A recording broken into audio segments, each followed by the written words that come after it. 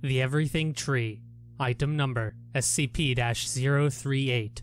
Object class Safe. Special containment procedure SCP 038 is to be watered twice per day via overhead mister. Should the mister break for any reason, attendants should water SCP 038 by hand until it has been fixed. Lighting is provided by computer controlled lighting array.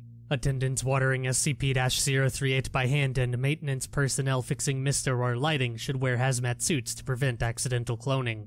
Description SCP 038 was found on an abandoned farm in blank, New York in 19 blank. It was first thought to be a common apple tree. However, upon closer inspection, it became apparent that SCP 038 was growing things other than apples and, in fact, other than fruit.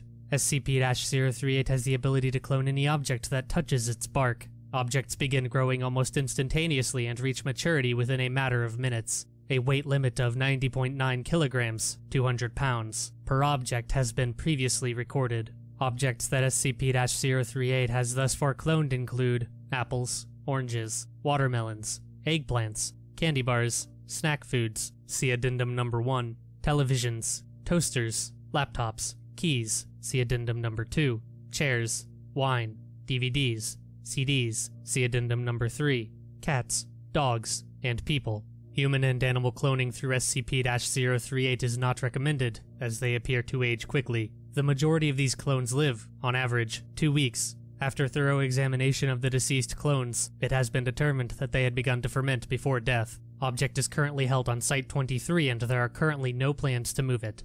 Addendum number 1. Dr. Klein has requested that personnel discontinue the cloning of items from the vending machines. See document number 338 1. Addendum number 2. Dr. Klein has requested that personnel discontinue the cloning of personal items. See document number 338 1. Addendum number 3. Dr. Klein has requested that personnel discontinue the cloning of movies and music. See document number 338 1. Addendum number 4. Dr. Klein has requested that personnel discontinue the cloning of cans of Miller, Budweiser, and Foster's. Dr. Klein has furthermore expressed customary disapproval of the quality of such cloned items. See document number 338 1B. Document number 338 1. I would like to remind all personnel that SCP 038 is not, I repeat, not a toy. It should not be used for cloning car keys, movies, music, or items from the vending machines. If this behavior continues, I will be forced to limit access to SCP 038. Dr. Klein. Document number 338 2.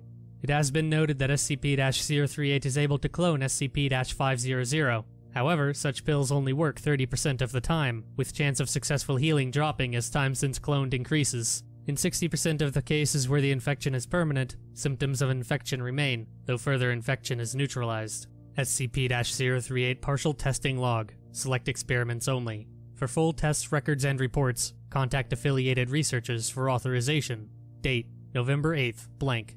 Intent Confirmation of mass limit. Investigation into consequences of exceeding limit.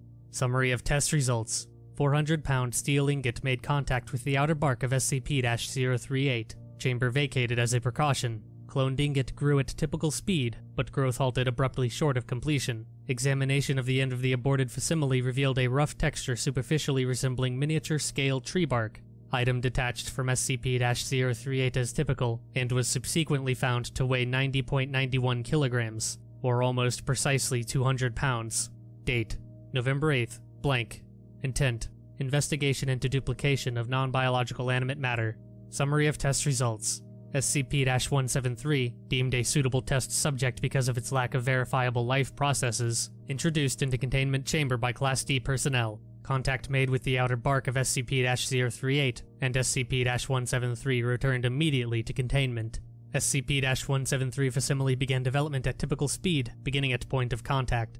As consistent with previous results, growth halted at the 200 pound threshold, in this case terminating development after replication of the head, right arm, and partial upper torso. Class D test subject was ordered to break eye contact with clone. When test subject eventually blinked, no movement was observed in cloned material. Extinguishing and re-establishment of containment chamber light supply revealed no apparent reaction from cloned material. Experiment concluded.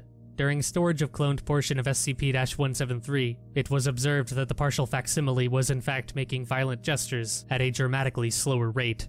Movement was shown to continue regardless of state of observation.